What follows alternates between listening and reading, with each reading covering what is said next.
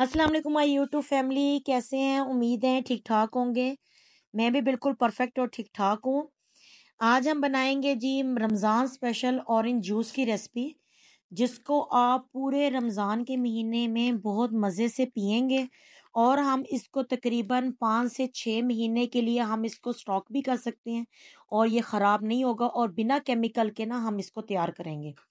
चलें जी रेसिपी शुरू करते हैं। मैंने सबसे पहले ले लिए थे एक दर्जन माल्टे। उनको मैंने अच्छे तरीके के साथ वॉश कर लिया था ताकि उसके ऊपर जो मट्टी या कोई भी चीज़ लगी हो तो वो रिमूव हो जाए। अच्छे तरीके से वॉश करने के बाद मैंने उसके छिलके अच्छे तरीके के साथ छील लिए थे। जब आप इस माल्टे को छीलें ना तो कोशिश ये करें कि जो इसका जो वाइट पार्ट है ना, वो अच्छे तरीके के साथ रिमूव हो जाए। क्योंकि ये जो वाइट पार्ट होता है, ये बहुत ज़्यादा कड़वा होता है। इसलिए आप कोशिश करें कि ये वाइट पार्ट आप रिमूव कर दें। फिर उसके बाद जी, मेरे पास तो ये जो ऑरेंज जूस है, इसकी मशीन थी, इसलिए मैंने तो इसके अंदर जूस निकाला। लेकिन इसकी तकरीबन दो तीन मशीनें होती हैं, आप बेशक हैंड वाली मशीन यूज़ कर लें, बेशक इलेक्ट्रिक वाली मशीन यूज़ कर लें, ये आपकी अपनी मर्ज़ी है। मेरे पास ये थी और मुझे थोड़ा सा इसमें आसान लगता है जूस निकालना, क्योंकि इसमें एकदम जूस निकल जाता है तो मैंने इस वजह से इसी मशीन का इस्तेमाल किया। आहिस्ता आहिस्ता करके मैंने इसमें हाफ़ ऑफ़ माल्टे रखे हैं। हाफ़ माल्टे इसमें रखे जाते हैं और जूस निकल जाता है। इस तरह मैंने इसमें रखे हाफ़ माल्टे और इस तरह इस तरह करके मैंने इन तमाम माल्टों को ना मैंने जूस निकाल लिया जब इन सब माल्टों का मैंने अच्छे तरीके के साथ जूस निकाला है तो फिर मैंने जी चूल्हे के ऊपर ना देचकी रखी है। उसमें तकरीबन आपने डेढ़ से दो कप पानी की शामिल करनी है। और आपने हसब ज़रूरत इसमें चीनी शामिल करनी है जितनी आपको चाहिए। लेकिन आ, मैंने इसमें हाफ़ के जी चीनी का यूज़ किया था। आपने तकरीबन इसमें हाफ़ के जी चीनी यूज़ करनी है। उसको फिर मैंने मीडियम आँच पे हल्का हल्का इसको हिलाया है ताकि ये जो चीनी है ना ये अच्छे तरीके से पानी के अंदर घुड़ जाए। उसको आपने बराबर इसका चम्मच हिलाते रहना है मीडियम आँच के ऊपर। हल्का हल्का आपने इसको हिलाते रहना है। ताकि ये जो सब चीनी है, ये अच्छे तरीके से इसके अंदर घुर जाए और कोई नीचे नीचे नी ना बैठे। ये आप देखें, ये किस फॉर्म में मैं इसको हिला रही हूँ। इस तरह आपने आहिस्ता आहिस्ता इसको हिलाते रहना है।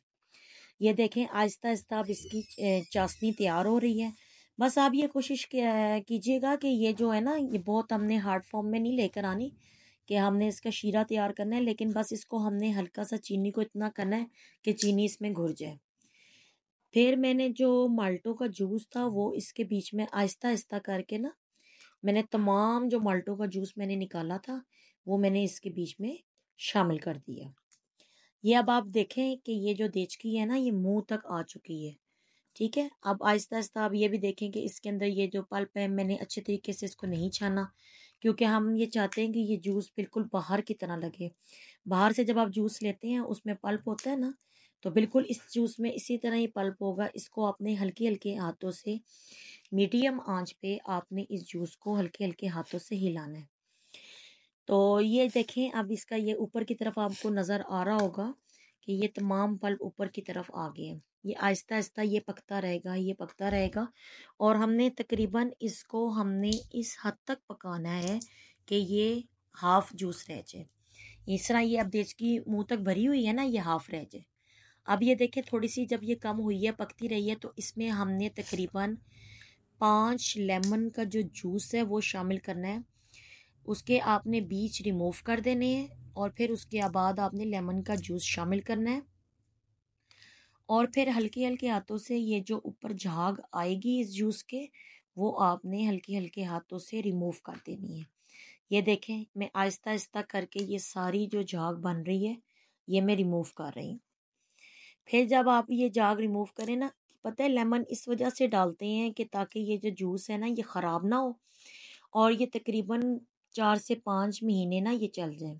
ये देखें आपने इस फॉर्म तक इसको पकाना है। पहले ये देखें कितना था और अब ये कितना हो गया और ये ठंडा होने के बाद भी ना मज़ीद गाढ़ा हो जाएगा। तो इस फॉर्म के ऊपर आपने ना ये चूल्हा बंद कर देना है। ये बिल्कुल तैयार है। ये देखें, बहुत ज़्यादा हमने इसको गाढ़ा नहीं करना क्योंकि जब ये ठंडा होगा तो ये मज़ीद गाढ़ा हो जाएगा। ये देखें, ये किस फॉर्म में ये आप देखें अच्छे तरीके के साथ। इस फॉर्म में अब ये जूस रेडी हो गया है। इसको आप ना किसी बोतल में सिक्स मंथ के लिए सेव कर लें। मैंने ये जग में डाल के आपको दिखाया है, इसमें आपने हाफ़ पानी डालना है और तकरीबन चार से पाँच चम्मच ना आपने इसमें एक गिलास के अंदर शामिल करनी है। चार से पाँच चम्मच एक गिलास में शामिल करें, चार से पाँच चम्मच दूसरे गिलास में शामिल करें। आपका ना ये ज़बरदस्त ठंडा ऑरेंज जूस बिल्कुल परफेक्ट तैयार है। रमज़ान स्पेशल है ये। रमज़ान स्पेशल तो आया ही नहीं।